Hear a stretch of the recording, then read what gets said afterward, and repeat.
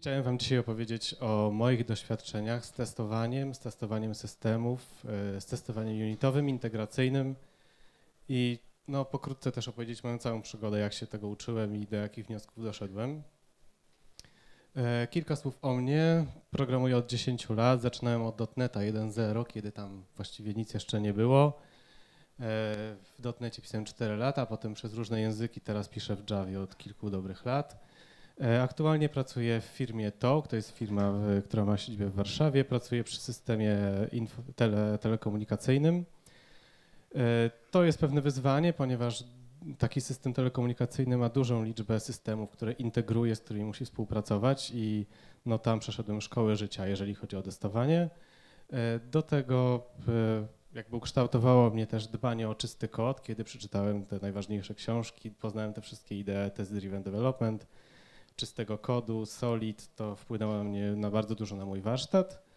E, oprócz tego mam jedno małe, malutkie dokonanie, wkład w historię. Napisałem Sputnika, to jest, e, to jest taki malutki program do statycznej analizy kodu, który bardzo dobrze wtłacza się w proces code review, czyli dajecie, e, dajecie swój kod do code review i Sputnik w kilka sekund oddaje wam wyniki ze statycznych analizerów, czyli z PMD, Findbugs i Checkstyle, to jest dla Java.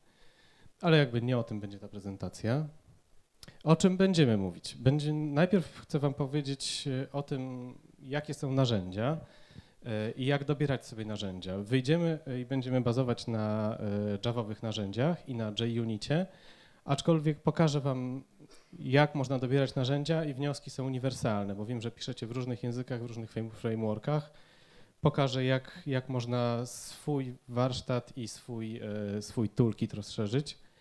Potem opowiem Wam o praktykach, które ciężko czasami ubrać w słowa albo jakąś nawet te, taką dobrą nazwę. E, opowiem Wam o takich najciekawszych rzeczach, które sam stosuję i bez których teraz jakby nie wyobrażam sobie dalszego testowania unitowego, a też szczególnie integracyjnego, ponieważ tam dopiero zaczynają się schody. E, potem pokażę Wam przykład testu integracyjnego. Tak jak mówiłem, w naszym systemie integrujemy wiele systemów e, różnych z różnym poziomem kodu, i z różnym poziomem jakości kodu i z różnym, można powiedzieć, z różnym zaufaniem. No i to jest jakby wniosek z tego, co mamy teraz. Na koniec postaram się tak ogólnie tylko opowiedzieć, co i jak testować, bo jeżeli przeczytacie kilka książek, to często tam są przykłady na stringach i integerach, ale już taki skomplikowany przypadek, kiedy czego nie testować, no to rzadko się zdarza. Ja wam tutaj powiem nieoficjalnie, do jakich ja doszedłem wniosków.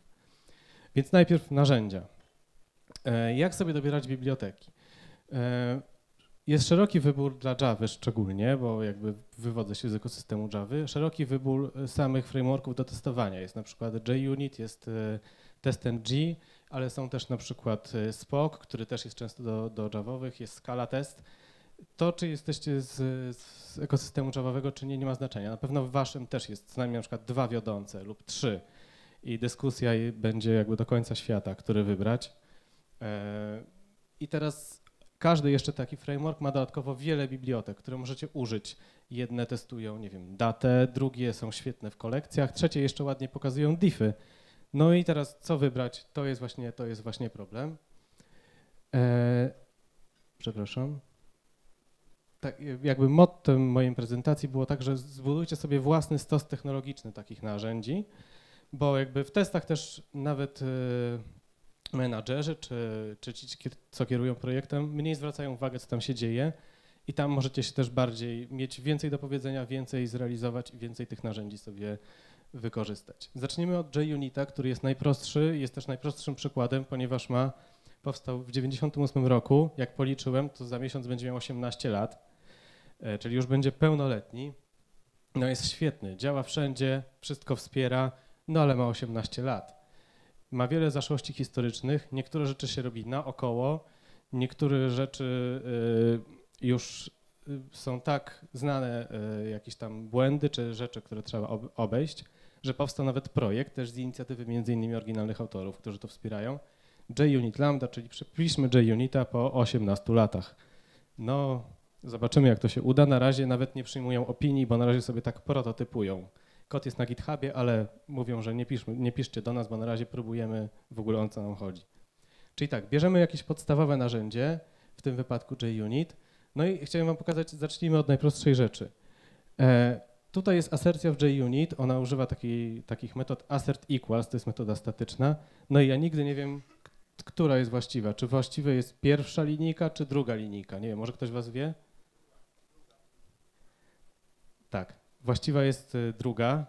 E, no i jakby to jest ok, ta asercja jest ok, assert equals to działa, czyli jeden argument musi być równy drugiemu argumentowi. Są też inne przykłady, assert not null, assert true, assert same, one są proste, no ale tak naprawdę świat poszedł trochę do przodu i no, dzisiaj już możemy wymagać więcej od takich asercji. One są normalnie w JUnicie, je się wygodnie czyta, i od 18 lat je są przetestowane, one działają na pewno. No ale pojawia się wiele innych bibliotek. Jedną z takich bibliotek jest AssertJ, która, e, która bierze, ja to nazwałem podmiot tej asercji, czyli bierze przedmiot tej asercji, a potem e, w zależności od klasy e, tego podmiotu, potem pod, możliwe są inne metody, tak? Czyli jeżeli mamy first name, który jest w domyśle na przykład stringiem, możemy sprawdzić, że nie jest nulem. Jeżeli jest to jakiś boolean, mamy takie metody is true. Teraz taki zapis wygrywa w wielu, wygrywa, e, jest wiodący w wielu bibliotekach, czyli także asercję możemy czytać jak zdanie po angielsku. To bardzo dobrze działa na mózg, jeżeli nie assert equals coś i coś, tylko assert that coś is equal to coś. Jakby można powiedzieć, że jeden cykl w głowie jest mniej. O co nam chodzi? Już wiemy o co nam chodzi, bo rozumiemy po angielsku. No i to jest świetne. E, świetne jest też to, że zobaczcie, to jest asercja o mnie. E, z lewej strony, znaczy powyżej jest JUnit, taki, taki w języku jak Joda mówił, prawda? Assert equals tak, takim angielskim trudnym, a na dole macie taki angielski płynny. No i o co tu chodzi? No świetnie, to jest bardzo ładny przykład, bardzo łatwy też do pokazania, jaki jest plus. Ale plus jest ogólnie taki, że nawet do takiej podstawowej metody, jaką są asercje, macie, macie już inne narzędzia. Możecie sobie wybrać e, assert.j'a. Takich, e, takich w samej Javie znalazłem kilkanaście bibliotek, które możecie sobie wziąć. I teraz e, to, że JUnit jest podstawowy, stwarza wielki rynek dla takich bibliotek. Tak samo macie pewnie w swoich, e, e, w dotnecie czy w Ruby, macie pewnie wiele takich podstawowych i potem do tego sobie dokładajcie więcej. Tak samo jest tutaj taki przykład. To jest testowanie wyjątków w JUnicie, to jest e, adnotacja i adnotacja mówi, jakiego wyjątku się spodziewamy. Ale takie testowanie ma wiele minusów, bo nie możemy sprawdzić, możemy sprawdzić tylko klasę wyjątku, ale nie możemy sprawdzić na przykład, jaki był komunikat wyjątku. Nie możemy też sprawdzić przyczyny tego wyjątku, czyli ewentualnie dalszych, e, dalszego ciągu tego wyjątku. No i też, co jest ważne, nie wiemy, w której linijce wypadnie ten wyjątek, bo mm, ta adnotacja mówi tylko o efekcie samego testu, nie mówi o dokładnej linijce, że w tej spodziewamy się wyjątku i on ma być. No i tutaj, więc JUnit na to wprowadził jeszcze trudniejszą i moim zdaniem nawet jeszcze gorszą metodę. To są to jest tak zwana rula expected exception, która tak naprawdę powiela błędy, y, powiela błędy tamtej, a jest o wiele trudniejsza w użyciu i ma jeszcze, y, jeszcze taką rzecz, która nie jest w dokumentacji. Ona się kończy, jak tylko wyjątek jest rzucony i przez no, co najmniej dwa lata po tym, jak się była linijka, w której rzucałem wyjątek, potem pisałem jeszcze coś, na przykład verify, że jakiś mock się wywołał czy nie. Świetnie wszystko przechodzi no a potem się okazało, że poza tą linijką to już niżej on nie idzie, czyli to wszystko, co było poniżej jest nieważne, bo tam kod nigdy nie dochodził. Tego nie ma w dokumentacji. Dopiero tam, jak na Stack Overflow ludzie pytają, to się okazuje to. No i kod się nie, nie wykonuje po rzuconym wyjątku. No i ja znalazłem taką e, bibliotekę Catch Exception, która te wszystkie problemy rozwiązuje i do tego, zobaczcie, assert jest z assert.j'a. Świetnie łączy się z tą poprzednią biblioteką. E, jest wygodna w użyciu. E, teraz mogę sobie sprawdzić e-message, mogę sobie sprawdzić e-cost tak zwany i mogę też rzucać wiele wyjątków i dokładnie wiem, w której linijce się spodziewam wyjątku i czy ten wyjątek wypadnie, czy nie. E, przy przygotowywaniu tej prezentacji jakby szukałem też o wyjątkach w Javie znalazłem, uwaga, 7 metod na testowanie wyjątków. Pokazałem wam trzy, istnieją jeszcze cztery. E, jaki jest z tego wniosek? No pole do popisu jest ogromne. Weźcie sobie jakby, weźcie tą bibliotekę, która wam odpowiada, tą bibliotekę, która odpowiada waszemu zespołowi i po prostu jej użyjcie, wdróżcie jej, wdróżcie ją, bo no, wierzę, że w, w, części, którą testujecie, macie o wiele większe pole do popisu i mniej osób tam może wam ingerować albo nawet chce. E, tak naprawdę, jak już zaczniecie testować, to u nas się okazuje, że mamy kilkanaście różnych bibliotek, bez których nie da się e, używać JUnita już teraz dla nas. E, są to po pierwsze biblioteka do mokowania i biblioteka do specjalnego mokowania, tak zwany Power Mock. Tam to już są mokowania naprawdę maszyny prawie że wirtualnej. Są biblioteki do, Awaitility jest biblioteką do czekania na zdarzenia, które się wydarzą asynchronicznie. Tak? Nie robicie thread sleepa i czekacie 10 sekund na coś, tylko awaitility, wam, awaitility próbkuje wam co jakiś czas, e, czy warunek się wydarzył, czy nie. E, jest Arquillian, którego ja nie używam, aczkolwiek jak ona jest do testowania kontenerów, no to już w ogóle jest jakaś magia. Ja nie mam potrzeby jej używania, ale jest popularna. JUnit params, bo parametrów w JUnicie właściwie nie da się używać, są tak zaprogramowane, że, że odradzam każdemu. E, w Springu mamy świetne testowanie e, modelu MVC, który jest w Springu. Są testy Selenium, e, to są testy do testowania, do testowania właściwie może nie frontendów, ale aplikacji i testowania wyglądu i struktury generowanego test HTML-a. Są też biblioteki WireMock do symulowania zewnętrznych systemów. No i nie używam wszystkich tych, które wam pokazałem, no ale oprócz tego używam jeszcze, jeszcze kilku. Chodzi mi o to, że jakby wniosek z, całej, z całego tego rozdziału jest taki, że narzędzia są niezmiernie ważne. Poszukajcie narzędzi, które teraz y, bardzo łatwo znaleźć na GitHubie. Mogą to być projekty akademickie, hobbystyczne, aczkolwiek narzędzia, które są dobre, szybko wyrastają na, na, na narzędzia popularne. Awaitility to nie wiem ile ma ta biblioteka, myślę, że kilka lat, a szybko weszła do takiego, y, do takiego kanonu, y, do takiego kanonu testowania zdarzeń asynchronicznych. Tak samo e, Fest Assertie kiedyś się nazywała, ta biblioteka AssertJ, ale autor mm, poróżnił się z, z kolegami, zrobił forka swojego AssertJ, Zrobił go, nie wiem, dwa lata temu i w tej chwili już nikt o fest asercjach nie pamięta, które były kiedyś. Autor popchnął to w swoją stronę, gdzie nie mógł się tam realizować, nie wiem z jakich powodów. Teraz ciągnie to sam. Szybko zdobył popularność i tak jak widzieliście Catch Exception, szybko jakby jedna biblioteka z drugą. Jeżeli one są popularne, szybko się zazębiają, można je używać, yy, używać razem. Zbuduj swój stos technologiczny testów. O ile w stos właśnie e, aplikacji produkcyjnej, kodu, kodu backendowego.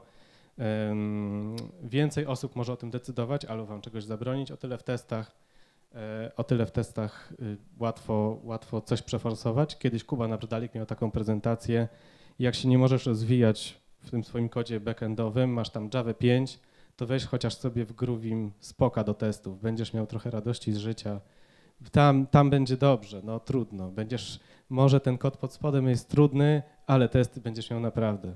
Kolegom można pokazać. E, tak, tych narzędzi można wyciągnąć w nieskończoność. W swoich językach na pewno też macie jakiś wybór, macie jakieś alternatywy. Dogadajcie się z zespołem, po prostu to zróbcie, bo tam możecie sobie decydować o tym. Jeżeli, mm, jeżeli też macie zaszłość, my mieliśmy tą metodę from, tą, tą, tą złą, no i y, po prostu do sprinta nawet wrzuciliśmy trzy dni na przepisanie wszystkich testów na catch exception. No i ktoś find replace zrobił, potem wszystko połatał i, i, i weszło, tak? Czyli no da się, tylko jakby y, znaleźliśmy braki w tamtej bibliotece, wytłumaczyliśmy, że potrzebujemy zmiany, udało się, no dobrze dla nas. E, następną częścią, jaką chciałbym e, Wam opowiedzieć o testowaniu, to są praktyki. Praktyki trudno ubrać e, w jakieś nazwy albo w jakieś słowa. No oczywiście, dobra, niektóre się da, aczkolwiek w kilku, projektu, w kilku projektach, w jakich pracowałem, można powiedzieć, że dużo też zależy od autora, od zespołów i od ludzi, z którymi się współpracuje, jak jest ich e, reakcja i feedback na to, no to jak to przetestujemy, no to, no to spróbujmy, coś napiszemy. No i, i w, po jakimś czasie zazębiają się takie praktyki, które można potem, e, które można potem powielać lub nie. To jest praktyka, którą się spotyka e, przynajmniej w Javie bardzo często. To jest tak zwany base test. Napiszemy teraz base test, w którym będą jakieś przykładowe obiekty, na których można potem testować. Zainicjujemy coś ze środowiska. E, no i potem wszystkie nasze testy będą z tego dziedziczyć. W Javie nie ma wielodziedziczenia, jest jedna ścieżka dziedziczenia. No i potem nasz discount service test będzie z tego dziedziczył, no i ten setup, gdzie się te moki buduje, gdzie się te moki buduje, będziemy po prostu wywoływać. No, tylko że potem ten base test się rozrasta. Rozrasta się w, w jedną stronę w database test, a w drugą w local test. No i potem, jakbyśmy chcieli wziąć trochę z tego i trochę z tego, to się w Javie już nie da. Yy, i, no bo nie ma wielodziedziczenia. No więc y, to jest praktyka bardzo często, y, jakby bardzo często. Ja ją spotkałem kilka razy w różnych projektach, do których dołączałem. I mm, no widać, widać, że ludzie chcieli zrobić coś dobrego, niestety to jest trudne. Odpowiedzią na to y, w Javie są rule. Rule to są tak jak to, co chcieliśmy osiągnąć, czyli takie rzeczy, które się wykonuje przed testem lub też po teście, ale można ich wykonywać kilka. Tutaj pokazałem, pamiętacie, tam był e, na poprzednim slajdzie był base database test i base local test. No to tutaj mamy rulę database, mamy rulę local switcher i jakby można te kawałki wykonywać, e, wykonywać ich wiele. Każdy kawałek się wykona przed testem i wykona się po teście, ponieważ mają metody before i after. To jest praktyka, to znaczy tak, w ten sposób, jako test bazowy, nie polecam. Polecam wam, na, y, polecam wam użycie takiego dekomponowania swojego testów, czyli takich mały, małych komponentów, które przed i po coś budują. Potem możecie dowolnie wybierać, czy inicjujemy tutaj jakiś mock bazy danych, czy inicjujemy tutaj jakiś e, mock klientów z różnych krajów, bo coś będziemy właśnie testować. Takich ról może być kilka, z, od, od jednej do kilkunastu. I no, w swoich językach też na pewno macie takie narzędzia, a to też bardzo przyspiesza, ponieważ taki base test, który by miał w sobie, w końcu wszystko ląduje tak w tym base, base teście. W tym base teście, y, jak wszystko się będzie, inicjowało, to wtedy wasze testy będą niestety wykonywały się wolniej. W tym momencie możecie wybrać, które kawałki chcecie wziąć i te kawałki e, sobie wykonać. Są już e, przykładowe, autorzy frameworka przygotowali już kilka przykładowych, to są specyficzne do Java. E, są to, są to rule, które albo łapią jakiś wyjątek, sprawdzają, albo czuwają nad tym, żeby test nie trwał za długo. No, do wyboru. Możecie też pisać swoje własne. To jest naprawdę świetne narzędzie. Następną praktyką, którą chciałbym Wam pokazać, to w testowaniu, szczególnie integracyjnym, doszliśmy do wniosku, że wiele z naszych czynności się powtarza i warto zamknąć kilka takich powtarzalnych e, czynności w jedną metodę. Tutaj jest przykład, że klient w naszym hipotetycznym sklepie coś kupuje, czyli e, jakby dla nas ważne jest to, który produkt on kupuje. Powiedzmy, że podajemy który produkt ID i w środku w tej metodzie on będzie wykonywał już kilka czynności. Powiedzmy, że to są wywoływania restowe do sklepu, czyli wybiera ten produkt o zadanym ID, wybiera opcję dostawy, płaci za niego i wraca do sklepu. Taka czynność zwiększa reużywalność. Szukałem lepszego słowa, ale nie, nie znalazłem. Ale o to właśnie chodzi, czyli takich komponentów, że klient coś kupuje, takich wywołań, że klient coś kupuje, wtedy zmniejszacie też ryzyko, że się pomylicie. Wiadomo, że ta metoda, on kupuje ten produkt, E, no i przy teście sklepu, kiedy na przykład kupuję e, z lokalami polskimi, francuskimi, angielskimi, wywołujecie tylko to, a nie całą sekwencję czterech czynności, które tutaj, e, które tutaj są. Jest, ta technika jest szczególnie przydatna przy testach integracyjnych, gdzie tych czynności może być wiele, bo też interakcji z różnymi systemami może być wiele, no i interakcji, które chcecie zbadać.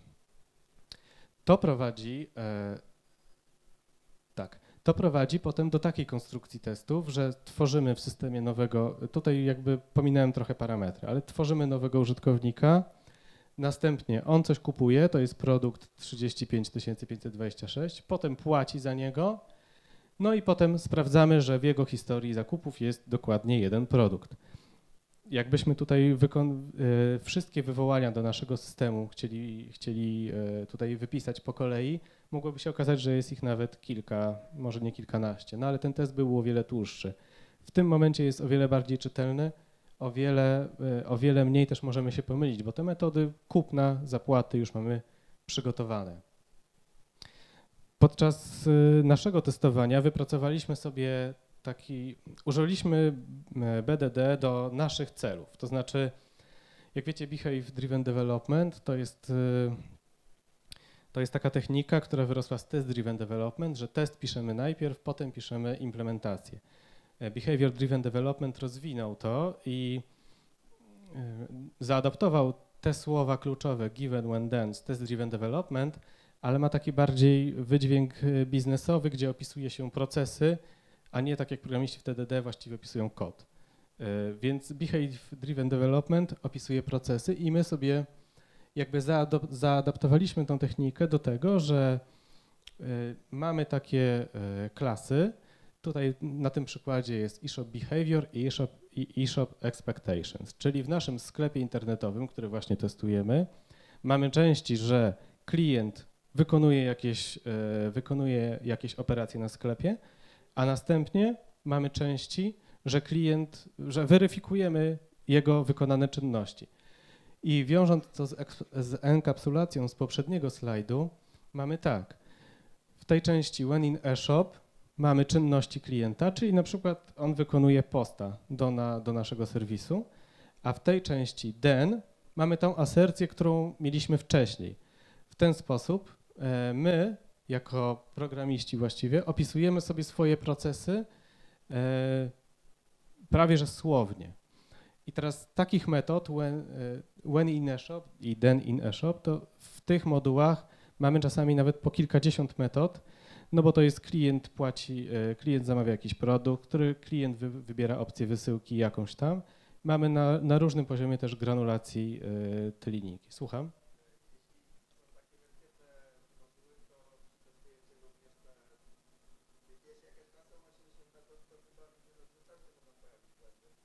E, pytanie było, czy w, tej, e, w tych klasach eShop Behavior i eShop Expectations mogą się pojawić błędy i czy je testujemy?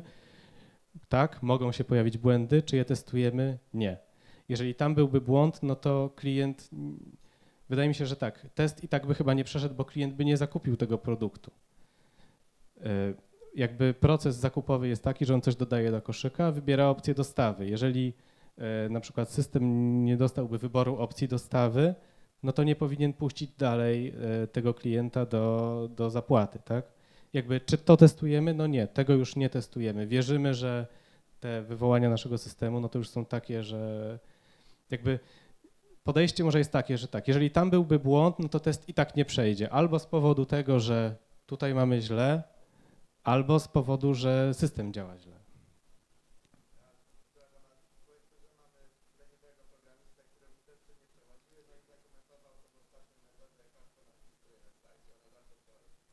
Tak, e, jest tutaj taka mm, próba, że mamy leniwego programistę, któremu e, w Denine Shop zakomentował w ogóle tutaj asercję i wszystkie testy mu przechodzą. No jest takie prawdopodobieństwo, może się tak zdarzyć, aczkolwiek no chyba od tego to jest bardziej proces code review, e, gdzie, że to wyjdzie, że, że on zakomentował no, asercję, która trzyma właściwie cały system tutaj zakupowy w, w spójności. Tak. Y, na, teraz tak, tą technikę e, użyj e, z BDD do swoich celów, bardzo polecam. Ona, ona, y, ona ułatwia potem pisanie testów i reużywalność tych kawałków. Nawet jeżeli ktoś potem nie wie dokładnie, jak wygląda proces zakupowy, znaczy no powinien wiedzieć, ale jakby potem nie musi się zastanawiać. Ma już, jak, jak użytkownik ma kupić, no to on już wie, jak ma zapłacić, już tylko wywołuje te części. Następną rzeczą, do, jaką, do jakiej doszliśmy, to jest y, kontekst testów. W procesie zakupowym, o którym tutaj teoretycznie mówimy, uczestni, uczestniczy klient, ale on ma jakiś identyfikator, ma e-mail, ma, potem będzie na przykład numer zamówienia, będzie numer transakcji płatniczej i tych zmiennych w teście robi się powoli coraz więcej i może, może, mieć, może być problem z utrzymaniem tych zmiennych, ponieważ każda wtedy metoda when in a shop albo then zwraca jakieś rzeczy, które potem trzeba przetrzymywać. Doszliśmy do takiego komponentu, który nazwaliśmy e, kontekst testów. Jest to prosty, prosty obiekt, który po, tylko jakby w trakcie trwania tej transakcji sklepowej posiada te informacje. To jest nasze takie jedyne źródło, znaczy jedyne źródło wiedzy o tym, jaki on dostał identyfikator zamówienia, jaki ma identyfikator płatności. E, I teraz ten eShop behavior, o którym mówiliśmy wcześniej, zwraca dalej void, czyli nie mówi, e, nie mówi na przykład jakiego klienta stworzył, tylko wkłada ten numerek do kontekstu testów. Potem jak klient zakupi, no to też wkłada mu numer zamówienia. Plus jest taki, że nie trzymamy stanów zmiennych. Te nasze metody zwracają void w większości przypadków. Nie przerzucamy tych parametrów od metody do metody. E, no, ale ta metoda jest też dosyć niebezpieczna. Teraz używamy jej i polecam tej metody, ale polecam jej używać bardzo ostrożnie, ponieważ ten obiekt współdzielony bardzo szybko się rozrasta i po chwili trochę tracimy kontrolę nad jego zachowaniem, bo zapominamy, kto wypełnia Customer ID albo kto potem z niego korzysta. Więc plusem jest taki, że mamy taki jeden obiekt, w którym trzymamy wszystkie zmienne ze swojego testu, specyficzne dla niego. Minusem jest to, że ten obiekt nad nim szybko tracimy kontrolę. E, no i należy być wobec tego obiektu troszkę jednak e, nieufnym. Ja mam jakby tą, tą przyjemność, że pracujemy w zespole, gdzie mamy jakby podziel... Wszyscy jesteśmy nieufni do tego komponentu, więc to jest bezpieczne. Dla większego zespołu no jest, to, jest, to, jest to trudne w utrzymaniu, aczkolwiek bardzo się sprawdza, bo e, usprawniła nam testy w ten sposób, że nie trzymamy zmiennych i w polach i nie trzymamy też zmiennych, nie przerzucamy ich z, jednej metody, z jednej metody do drugiej. Więc polecam używanie takiego kontekstu, ale e, ostrożnie. E, w naszym testowaniu integracyjnym doszliśmy też do takiego, do takiego momentu, gdzie musieliśmy zajrzeć do bazy danych. Nasza aplikacja testowana, ten przykładowy sklep, jest, e, jest traktowana jako czarna skrzynka. Ona zwraca, na przykład może zwrócić historię zamówień jak najbardziej. E, a może wyświetlić zamówienie, oczywiście, ale mm, zdarzają się przypadki, kiedy nie możemy sprawdzić stanu aplikacji bez zajrzenia do bazy danych. I doszliśmy do tego, że musimy utrzymywać połączenie z bazą danych i sprawdzać stan aplikacji e, w bazie danych. Nie jest to jakby chlubna praktyka, aczkolwiek no, czasami musimy do niej sięgnąć. Co więcej, musimy czasami w bazie generować takie przypadki, które system musi obsłużyć. Na przykład była, mieliśmy migrację, niektórzy e, migrację danych, niektórzy klienci się źle zmigrowali. Przykładowo zamiast, e, zamiast nula mieli, e, mieli na przykład pusty string. No i system jakby nie zachowywał się poprawnie i nie było możliwości już po tej migracji wygenerowania takiego przypadku e, dla czysto startującego systemu, więc jakby test przygotowuje złe, złe dane specjalnie, żeby potem sprawdzić integracyjnie e, ten przypadek. On jest też sprawdzony unitowo, aczkolwiek z jakich, już nie pamiętam z jakich względów potrzebujemy to sprawdzić integracyjnie. Dlatego musieliśmy w bazie danych na działającym systemie niestety w niego ingerować, co jest zaprzeczeniem utrzymywania tej e, zasady czarnej skrzynki. No, aczkolwiek e, stosujemy go czasami i e, no, jest to coś, o czym może nie powinno się tak głośno mówić. No niestety, czasem trzeba do bazy danych czarnej skrzynki zajrzeć, żeby, żeby sprawdzić. Potem jeszcze pokażę to na przykładzie, jaki, jak, o jakim zachowaniu mam, jakie zachowanie mam na myśli. Więc tak, ciężko te wzorce i antywzorce zebrać w jedną całość. Jakby naj, najwięcej możecie się nauczyć na, na własnych błędach. Weźcie swój system integracyjny, spróbujcie go przetestować. Okaże się, że brakuje wam takiego narzędzia i takiego i takiego i wtedy dobierzecie sobie, dobierzecie sobie, yy, dobierzecie sobie narzędzia, którymi możecie to przetestować. Ewentualnie możecie, tak jak my, sięgnąć do bazy danych. No czasami niestety, niestety trzeba tak przetestować system integracyjnie. I teraz w całym tym testowaniu jeszcze jest ważne, żebyście mieli z tego zabawę i satysfakcję. Mm, mniej więcej rok temu mm, klient dał nam sygnał, że jego przyszłość, jeżeli chodzi o finansowanie, jest troszkę niepewna. No i że nie wie, czy ten system przetrwa. No i moją pierwszą myślą było, kurczę, a takie fajne testy mieliśmy. I dopiero potem była refleksja, że klienta możemy stracić. Ale to było jednak to, bo w zespole e, no, większą radość mamy z testów. Nie zawsze wymagania biznesowe klienta są fajne. Musimy czasami, my to nazywamy, że trochę popsuć system, bo klient wymyślił taką promocję, że trzeba w poprzek zrobić. No i, no i bez sensu, ale, ale już w testach jest fajnie. No w testach to już jest nasze poletko. To wymaganie biznesowe, no, no nie, no bez sensu. No ale przetestujemy je ładnie. Patrzcie, jak ładnie, fajnie. Są parametry? Są, dobra. No je, więc jeżeli, jest, jeżeli podzielacie tą radość z testowania, wciągnęliście się, wciągnęliście zespół i te narzędzia wam służą, no to jest naprawdę przyjemnie. Wtedy, wtedy znaczy, że wybraliście dobrze. Teraz chcę Wam pokazać przykład testu integracyjnego e, z, z mojego właściwie e, projektu. Jest to przykład taki żywy. Takich testów mamy kilkaset już w tej chwili. Use case mamy taki, że mamy trzy systemy. Po lewej stronie jest system płatności, który przyjmuje płatności normalnie przelewem. E, przelewem. W środku jest system, który nazywamy wieża. To jest nasz system, który będziemy testować. I po prawej, e, po prawej stronie jest system billingowy. Jest to system, na którym jeżeli chcecie doładować 50 zł, to płacicie przelewem. Nasz system, jako, system środkowy, jak otrzyma potwierdzenie przelewu, wysyła do systemu billingowego, doładuj klientowi te 50 zł, które on tam zapłacił. I teraz jakie są założenia e, naszego testu?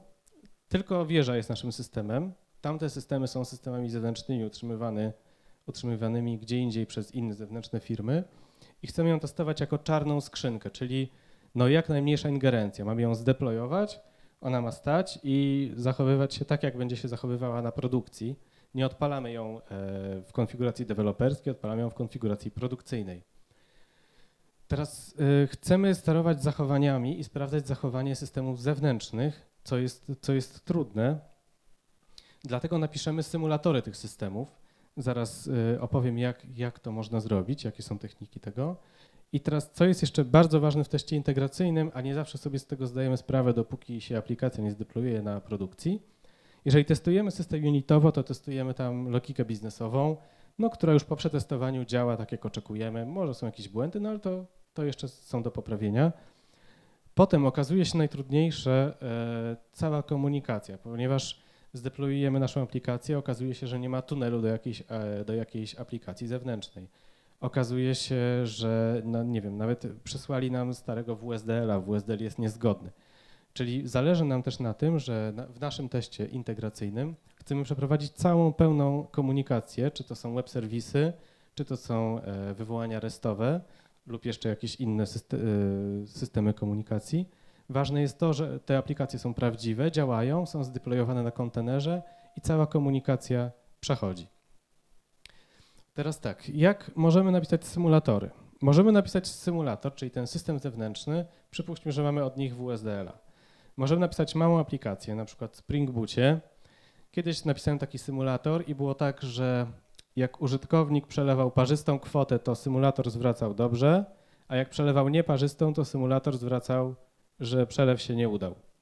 No jest to jakiś sposób, aczkolwiek ten sposób jest niedoskonały. Ciężko sterować takim, e, takim symulatorem i to, co powiedziałem, parzyste konto lub nieparzyste, e, no za jakiś czas ktoś może o tym zapomnieć i wtedy dopiero będą kłopoty. Można też e, w tym samym kontenerze zdeployować taki mały serwer HTTP, gdzie będą, będą wystawione moki, nad którymi możemy, nad którymi możemy panować i które będą odpowiadały tak jak, tak, jak chcemy. To jest już trudniejsze, ale o wiele, o wiele lepiej się wtedy steruje. Jest też trzecia wersja. Można zastosować bibliotekę. Tutaj znam dwie takie biblioteki, WireMock i Betamax. To są, y, to są dla Java, y, aczkolwiek są też dla innych języków.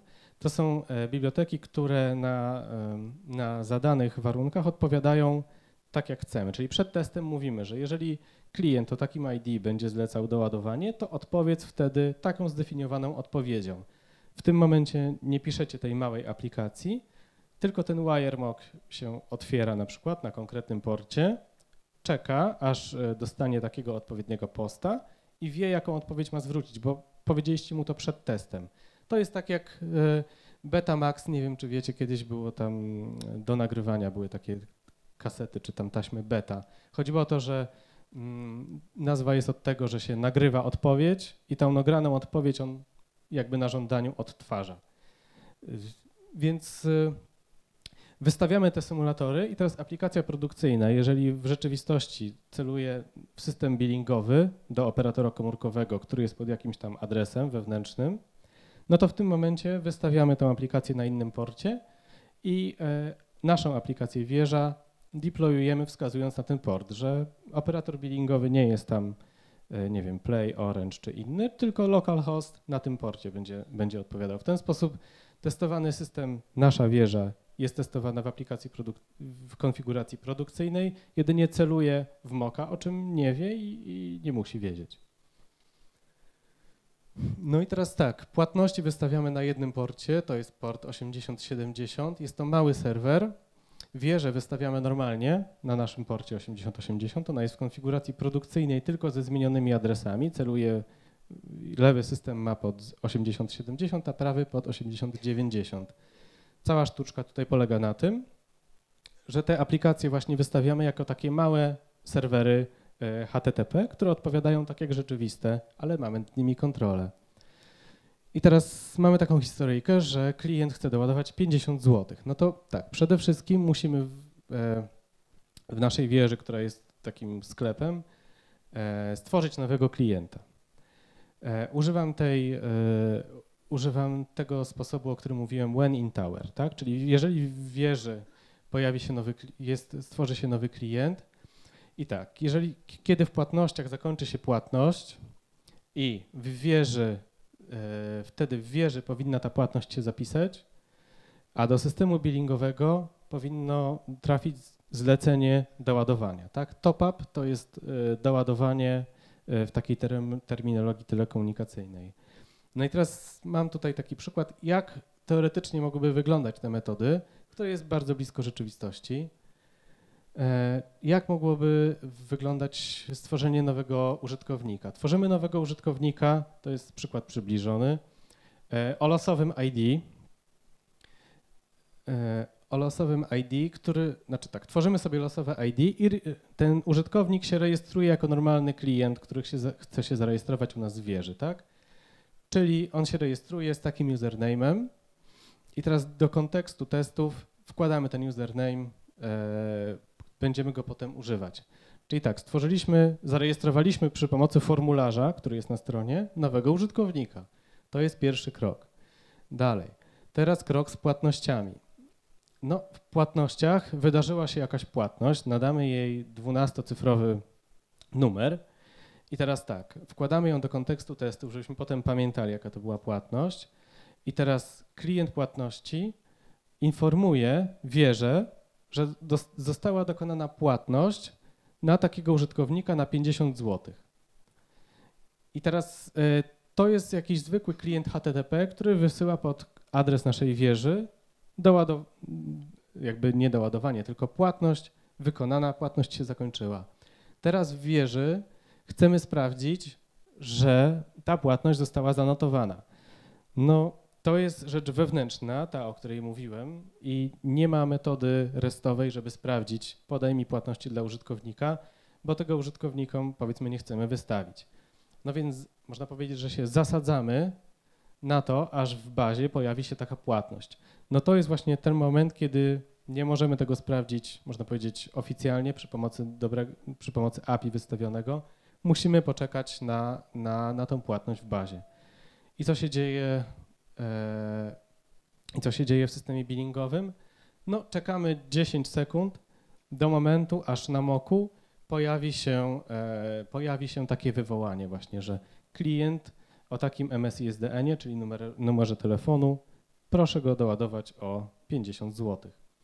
To jest przykład rzeczywisty, to znaczy tak, okrojony można powiedzieć, ale takich testów mamy bardzo wiele i taka technika, taka, takich praktyk, takie złożenie tych praktyk bardzo nam, e, bardzo nam działa. E, są testy, gdzie w procesie zakupowym e, i w procesie potem trwania, trwania usługi billingowej mają po kilkadziesiąt linii i te chruli, o których mówiłem, mają też kilkanaście systemów, bo jest albo system płatniczy, albo system billingowy, albo wysyłamy mu maila, albo SMS-a. I jakby no takich tak, taki sposób testowania polecam, ponieważ no, w trakcie prawie dwuletniego projektu wypracowaliśmy sobie e, taki sposób testowania integracyjnego. Teraz taka rzecz, e, którą ciężko też e, jakby wyrazić w jakichś zasadach, co i jak testować. No więc jakby z mojego doświadczenia chciałem tak, przede wszystkim w testach jednostkowych testujcie logikę biznesową, która jest do przetestowania łatwo, przy użyciu moków jest to też bardzo lekkie i bardzo szybkie, to już pewnie wiecie. E, należy dążyć do wysokiego pokrycia. Nie wiem, czy sam cel pokrycia 100% jest celem samym w sobie. Ja uważam, że nie. Powinniście mieć wysokie pokrycie, ale jak, jakie to powinno być pokrycie? No, myślę, że około na przykład, nie wiem, 80%, ale możecie mieć też 70-90%. Zależy od tego, jak wy się z tym czujecie, jak zespół się czuje. No gorzej, jeżeli e, management się z tym źle czuje i wam każe większe pokrycie, no to wtedy możecie dyskutować albo się podporządkować. Tego nie wiem, to zależy od waszego systemu i od tego, jak się, jak się czujecie e, z pokryciem i, i ze, swoim, ze swoimi testami. Oczywiście należy też tworzyć testy dla każdego błędu, który, który dostaniecie, po to, żeby po prostu ten błąd nie wrócił. Często się, często się zdarza tak, że błędy, na których nie macie, e, na których nie macie testu, niestety powracają, no a testy, e, testy pozwalają tego uniknąć. E, czasami się też spotykam, nawet kod, który sam pisze, że trudno mi go przetestować jednostkowo. To jest dla mnie jednoznaczny sygnał, że, że coś jest nie tak wtedy z tym kodem. Wtedy trzeba go jakoś zrefaktorować. On jest, jeżeli jest mi niewygodnie go przetestować, no coś jest z nim źle. Powinienem jednak popracować jeszcze bardziej z tym kodem, albo w przyszłym sprincie powinniśmy jakoś go zdekomponować, tak? Jakby to jest dla mnie chyba najważniejszy sygnał, jeżeli chodzi o jakość. Jeżeli czegoś się nie da przetestować, no to to jest na pewno, to jest na pewno ten punkt, który musimy, e, na którym musimy popracować. O testach integracyjnych. U nas e, w tym systemie, o którym mówię, mamy około 2000 testów unitowych i niecały tysiąc integracyjnych. Myślę, że to jest dobra proporcja, aczkolwiek może nawet mamy za dużo integracyjnych. E, ale tak, one są skomplikowane i drogie w utrzymaniu. One się wykonywały na Jenkinsie około 40 minut, e, testy integracyjne, e, aczkolwiek jak przeszliśmy na dyski SSD, wykonują się w jakieś 17 minut. Więc no, rozwiązaliśmy problem zupełnie inaczej. Rozwiązaliśmy go hardware'owo. To, że one się wykonują długo, po prostu włożyliśmy do Jenkinsa dyski SSD. Więc jakby nie są już dla nas, nie trwają długo. Ważne dla nas jest ta wartość, ponieważ integrujemy wiele systemów, że komunikacja przechodzi naprawdę i naprawdę te web serwisy i HTTP resty się wykonują. To jest, to jest duża wartość. Ważne jest też logowanie tutaj uprawnień, ponieważ, yy, przepraszam, testowanie uprawnień. W teście jednostkowym macie jakiś komponent biznesowy, jakąś logikę, którą łatwo przetestować, bo ona się nie martwi skąd, yy, skąd yy, zadanie przyszło, ona po prostu wykonuje swoją pracę. Ciężko potem jest y, sprawdzić, czy ten klient, który może coś y, zakupić, czy on rzeczywiście może zakupić. Może się okazać, że jak ma niepotwierdzone konto w sklepie, to nie może zakupić. To jest trudne do przetestowania i unitowo bardzo ciężko to przetestować. No i przetestować wszystkie przypadki. Tak jak w teście unitowym e, odpowiem zdecydowanie tak. Testujcie jak najwięcej przypadków i parametrów. O tyle w teście integracyjnym zaczynamy od takiej podstawowej ścieżki pozytywnej i negatywnej, a potem patrzymy, czy nam to wystarcza. Mamy, mm, mamy tą ścieżkę pozytywną, wszystko przechodzi przez warstwy, ścieżkę negatywną. Potem jakby, jeżeli trzeba, to dopisujemy więcej testów integracyjnych. No i tak, czego jeszcze nie testować, to ciężko powiedzieć. Nie testujemy skryptów, które mamy, które niestety czasami z boku coś naprawiają. Nie testujemy też wyglądu interfejsu użytkownika. E, są zespoły i projekty, gdzie dużą, dużą wagę się też przywiązuje do testów Selenium, do testów e, takiego właśnie klikania w stronę i wyglądu strony. E, ja mam akurat tą wygodę, że test piszę, że piszemy backend, gdzie no już o wygląd interfejsu użytkownika nie musimy się martwić, ponieważ on tam idzie, to są informacje więc y, nie mamy tego problemu z Selenium, aczkolwiek są takie systemy, które muszą testować interfejs użytkownika. Nie testujmy naszego, nie naszego kodu, czyli frameworków, które bierzemy e, i bibliotek. Oczywiście zdarzają się w nich błędy, jak najbardziej. I należy te błędy znajdywać. Jeżeli znajdziecie, to też zgłosić, bo działacie w imieniu swoim, ale też działacie na rzecz całej społeczności.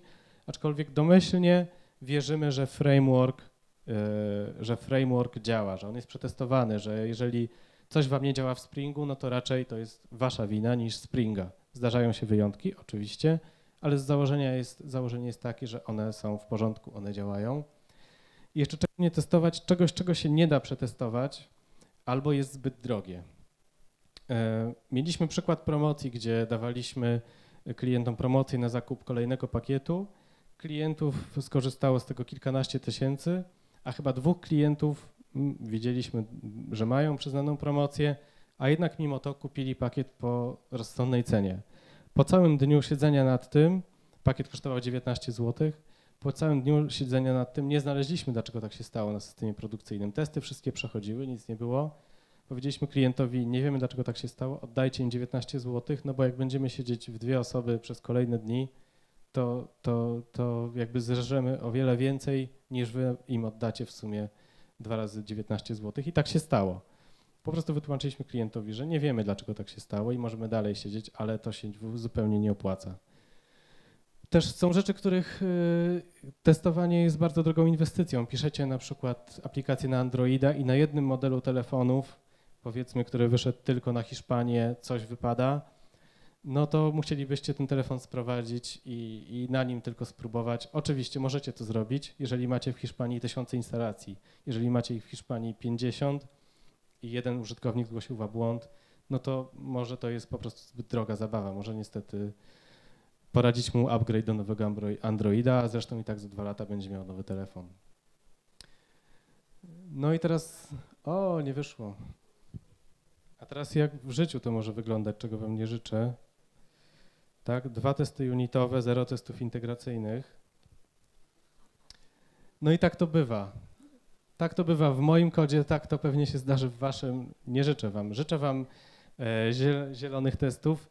Życzę wam też, żebyście spróbowali to, co mówiłem, zbudować sobie swój własny stos testowania. E, możecie się tam poczuć u siebie jak w domu, tam jakby nikt wam nie będzie ingerował. Na pewno znajdziecie coś dla siebie przy takiej popularności bibliotek i można powiedzieć, też popularności testowania od, od kilku lat. E, naprawdę jest w czym wybierać. Dziękuję bardzo.